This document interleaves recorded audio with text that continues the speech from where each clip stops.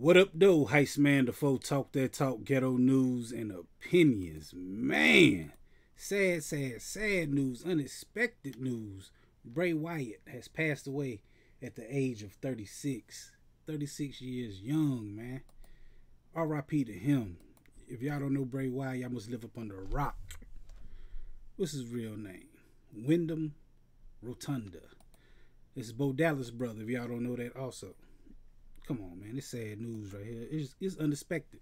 It's IRS son. If y'all remember IRS from back in the days, um, Mike Rotunda, that was his real name.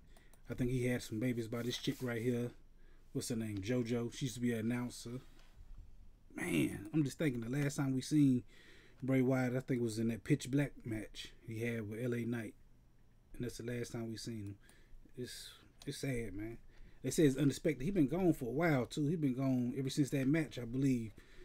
Um, man, he could have been booked better. I think he could have been booked like the Undertaker. Man, they should have protected him. But man, they ain't even saying what's what happened to him. I just know he been gone. He had an unspecified illness. They saying they ain't let nobody know, and he just unexpectedly passed away. This coming off like I think two days since Terry Funk passed away. Oh man um, man, it's messed up, yo. He gonna be up there with Brodie Lee though, man. That's the news right now. That's all I can say about it. I don't know nothing about this, man. It just came up. It was like, what? Bray Wyatt? And man, it's, it's man, this is crazy. I'm still looking at it right now. Everybody like on Twitter. This is crazy. I'm just looking at it, man. Yep. That's what everybody's saying the same thing, R.I.P. and all that stuff, but it's unexpected. That's Bray Wyatt, man. He, oh man, and, he was young, 36 years young, man.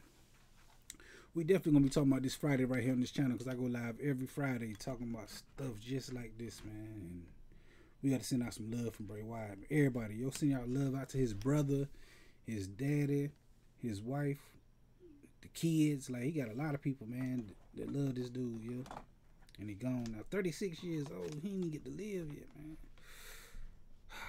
Anyway, like I said, I go live on the channel every Friday at 9 p.m. Come through and holler at me. Hit the like button, the comment button, the share button, the subscribe button, the notification bell, all the good buttons you got to hit to get this pimping that I'm putting out when I put it out.